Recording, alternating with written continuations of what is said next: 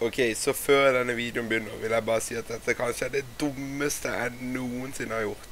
Jeg visste ingenting om hva som skjedde når man spiser så mye av noe. Og jeg fikk virkelig følt på det. Uh, så ikke gjør dette hjemme. Uten mer å gjøre, nyt videoen. Hallo alle sammen, og velkommen tilbake til Smiles Frickings Gaming. Velkommen, velkommen. Dritlenge siden. I dag vi, skal vi gå tilbake med et bang, og vi skal prøve å spise verdens, kanskje verdens største popkornpose som er mulig for å kjøpe. I hvert fall Norges største. Ok, så denne her er på så å si 1 kilo. Det er 4700 kalorier i den. Ja, han er som en pute i størrelsen. Jeg tenker vi skal yolo det her. Så åpne denne jegeren. Få den opp.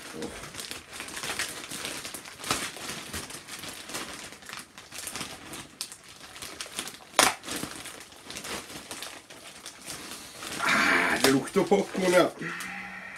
Oi. Uh, jeg fant ut at det var sånn den man kunne åpne Ja, ja, man skal jo spise alt på samme. Så her, første biten. Nydelig popkorn. Nydelig. I starten gikk det veldig bra. Det var god popkorn, jeg kjeda meg, men ellers så var det skikkelig digg å bare sitte og spise. Men hver gang jeg ser ned i posen der, så ser jeg bare Jeg bare mister mer og mer håp. Og jeg, jeg sitter bare og tenker dette her kommer ikke til å gå. Men jeg fortsetter å krige, da. Dere ser jo det. De var overraskende gode, i her. Så her prøver jeg å motivere meg selv ved å si at det er godt. Så det har blitt lettere å spise. liksom Jeg skal ha en grunn til det. Men grunnen er at jeg allerede merker jeg begynner å bli mett. Jeg begynner allerede å krige skikkelig for å fortsette. Uh, man ser det litt i øynene. Jeg ser litt bort. Jeg prøver å ta litt sånn dansing. Men jeg tenker bare det at uh, om det her skal gå nå, så må jeg finne på noe. Og finne på noe gjør gjøre. Det skjer ingenting, mann. det skjer ingenting, mann. Når du spiser så mye, så handler det nesten bare om det mentale. Og du hørte det på stemmen min der at jeg var bare klar for å gi opp. Du kan til og med se her nå. Jeg bruker sånn 15 sekunder hver gang jeg tar ny. 15-20, nesten et halvt minutt hver gang jeg tar en ny. Jeg begynner å bli så død.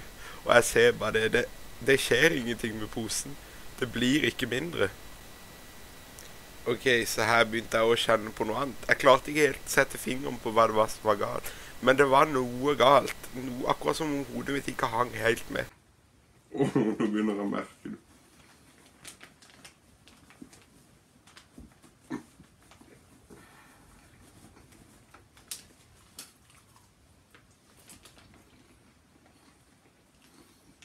Ja, har dere hatt en fin dag i dag? Mm.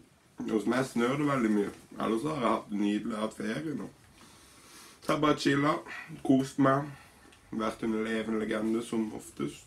Ja. OK, det begynner å bli litt vanskelig å forklare hva som skjer nå, men jeg skal prøve. Så salt Kroppen i løpet av en dag trenger 1,5 gram salt.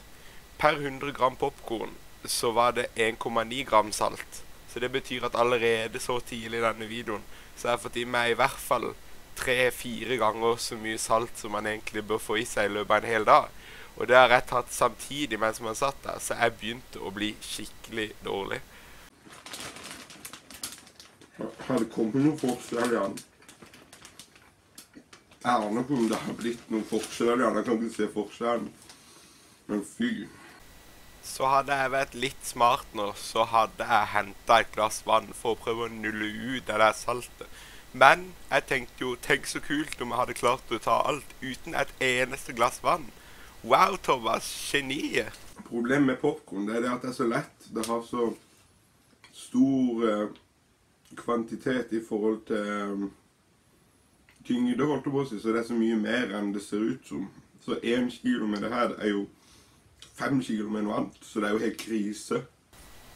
Her kan dere høre. Jeg, jeg begynner å prøve å finne på sånne unnskyldninger og sånn for hvorfor det her ikke skal være fysisk mulig. Og jeg, jeg sitter der, jeg spiser, jeg spiser, jeg spiser. Ingenting skjer. Jeg føler Jeg kjeder meg så sykt. Og jeg bare begynner, Jeg begynner å pose litt sånn. Jeg vet ikke hva jeg holder på med lenger. Jeg har bare gått i en sånn transe, nesten.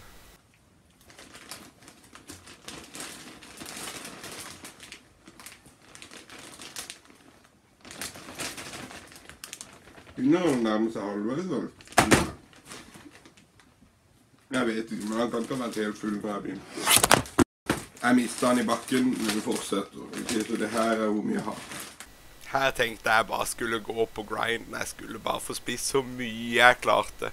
Og jeg bare pressa meg selv så sykt. Jeg var så lei av popkorn. Men jeg tenkte bare enten nå så går det, eller så går det ikke. Eh, man kan se på øynene mine jeg begynner å bli litt sånn slapp. Jeg vet ikke om det er salt eller noe. Jeg har ikke lest meg opp på det. Men jeg bare pusha, pusha på. Du ser, jeg må ta lange pauser mens jeg spiser, men jeg, har det ikke så særlig gøy. Men jeg fortsetter å pushe på, og det, det gir faktisk resultater.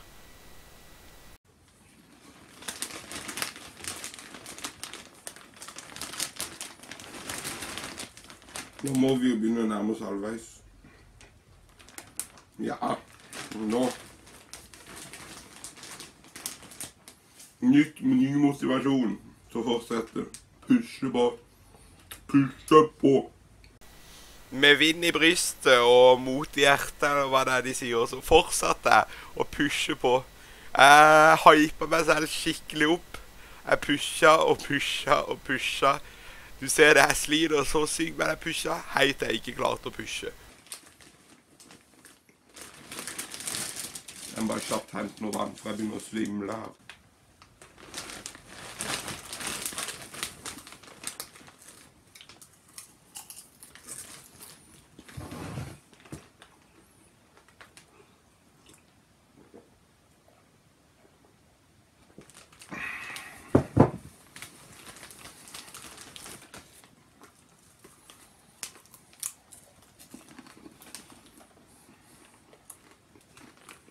Det var her jeg virkelig ga opp. Du kan se det på meg. Jeg er så lei, og jeg skjønner det at det, det her kommer ikke til å funke. Jeg var altfor sein med vannet.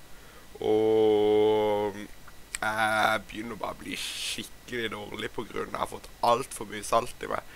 Ok, Så hvis vi sier jeg har spist halvparten, ca. 500 gram, da Det er jo ca. 7-8 ganger så mye salt som en person bør ha i løpet av en dag. Så nei, jeg begynte skikkelig å slite.